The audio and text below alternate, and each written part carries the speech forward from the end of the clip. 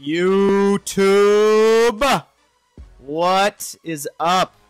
It's your boys at Fuzzy Motion here coming at you to talk to you about a few things dealing to and pertaining with life in and of itself. Uh, first thing I want to talk about is the fact that the FAMAS is getting nerfed, but right away you're going to notice I come around this corner and oh, what's coming up the corner? Oh, yes. Your boy gets gunned down in cold blood. Not a good way to start the match. Anyway, uh, the FAMAS is getting nerfed, uh, and that's good news. You know, any anytime you have developers uh, continuing to work on a game uh, well after it's released is always a welcome uh, a welcome thing in my book. I, I, wish more developers would do that with other games. I mean, it, you know, there are games I can think of off the top of my head, like Phantasy Star Online. I wish they still did support for that. Ghostbusters, the game, they did support for that like two weeks after it came out, and then they're like, yeah, you know what? The multiplayer sucks so uh, fend for yourselves. Can't get those achievements now. Good luck trying to get that shit. Um, and Half-Life. Remember Half-Life? Team Fortress? I used to love that game. In fact, that was one of the reasons I wanted to get the games because of Team Fortress, the, the orange box, and uh, that that got hacked to shit. I mean, you know, everybody was running around with like God mode on. It's no fun. It's like World at War right now. You know, it's no good. But uh, you know, they're not even going to do that much to it, guys. They're going to close the grouping down, um, make it make it slower to aim, uh, and things of that nature. So I mean, it's not like the complete death of FAMAS.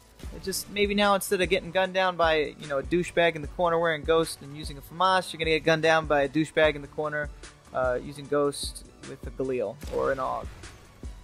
You know, switch it up a little bit, keep things flavorful. Um, anyway. Uh, that having been said, I know everybody's been beating that into the ground lately. Our camera came in finally. Yay, our camera! Uh, it's a Panasonic AVC Cam HD. Uh, played around with it. Nothing's better than making a, a, purchase and figuring out that everything that you thought about the camera works and that it just syncs up with your computer nicely. I don't have to you know, format any files. So the next review we put out, uh, which is going to be soon, uh, is going to look much better and sound much better. Uh, I like how the post office lied to me though. Post office uh, sent me a little little slip in the mail. Said, "Yeah, we tried to stop by, but nobody was there. So you know, come pick it up at the post office." And I'm like, "Bullshit! I was there all day. I was checking my phone. I had text message alerts. I was waiting, waiting, and I knew it showed up in my town. Um, that's how I knew they were full of shit because I got the text that it was in my town before I got the the notice that uh, they tried to deliver it. So, um, U.S. Postal Service, great job, great job sacks of shit. Uh, was waiting for that thing for you know a couple weeks and finally came in, and uh, thank God for that because you know had it been damaged or something, I don't know what I would have done. I've been very upset. Expensive purchase, man. That's all I'm gonna say. Uh, it's not cheap. You know, HD cameras are not cheap. Um, uh, it's just, uh, but you know, when you when you want to make a difference and you want better quality, you, you got to go with the pros use, man. So uh, that finally came in.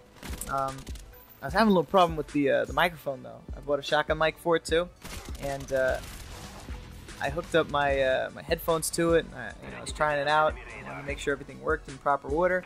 So I, I, hooked up the adapter to it, the XLR adapter. It's got XLR inputs instead of uh, regular stereo inputs. Uh, you know, it's for sound quality. And uh, hooked it all up. got it set up on a tripod, and I was like, all right, let's make this bitch work. So I start, you know, talking, and I don't hear anything and I don't know, you know, I haven't used a professional camera before. I don't know whether it was me or the equipment, so I started, you know, fussing with stuff, and I'm like, well, it's definitely not the, the camera because the onboard camera works. Um, sounds like shit, but it works. So it's like, well, maybe it's the uh, the inputs. The, maybe the input's are wrong, the adapter. No, I can still hear something on my headphones uh, when I unplug and plug stuff back in. So I'm like, damn it, it's got to be the microphone. Like, leave it to fucking Amazon to sell me a piece of shit microphone. You know, so I start cursing out Amazon. I'm like, damn you, Amazon, and your bullshit. I'm going to make the nastiest review you can ever hear about. And I, I pull it out and I start, like, you know, waving it around. Like, what could be wrong with this thing? It's got an on button. It's in the on position. It's got this other stupid button. That's up. Uh, I don't know what the hell's wrong. So I unscrew it, just thinking, like, maybe there's a wire disconnected and I could bring it back to Amazon. It takes batteries. Did not know that. It takes batteries. Thought it was plugged in and it works. No, it takes a one AAA battery, one single AAA battery. Yep, plug that in, works just fine though. Although the balance is a little bit off, I can live with that. Whatever. Um, but hey, man, it works. You know, it works. It looks good. Uh, it's easy to, to integrate with uh, with the editing software. You just you know plug it in and, and no uh, no conversions needed. I was worried I, I was going to have to convert all the files from M2TS to uh, to MOV files or you know MPG4 files. That's not the case. Thank God for that because that just takes forever. Um, that's finally finished. So uh, I, I, just I'm like thrilled, uh, and I can't wait to, to film the next Spielberg review. Man, it's gonna be awesome. Uh, speaking of the Spielberg review, we're almost done writing that. We've got about three more movies to sit down and write. We're probably gonna do that tonight. Uh, and then have a rewrite sometime this week and shoot it next Wednesday. So, you know, that's coming up pretty soon, guys. Look out for that. Uh, thank you so much for the support we've been getting. I know Munch Gamer gave us a shout out saying uh, he liked the video, thought it was pretty funny. Uh, that's good, you know. It's good when we, we have shit uh, shit quality for for a video. Uh, we worked really hard to write that script, so um, you know the video quality is going to go up from here, and hopefully you guys can enjoy it. Uh, you know, we just want to make something that's funny and that everybody can enjoy watching. You know, it, it, it's not it's not easy. We thought you know I thought be able to get it all done in one day. We were really humbled by this whole process. Like you know, shout out to uh, Nostalgia Critic and, and the Nerd and Spoony One and all those guys, those reviewers, those internet reviewers that on a daily basis grind out reviews of countless pieces of uh, you know nostalgic footage or, or video games or anything like that because it's not easy, man.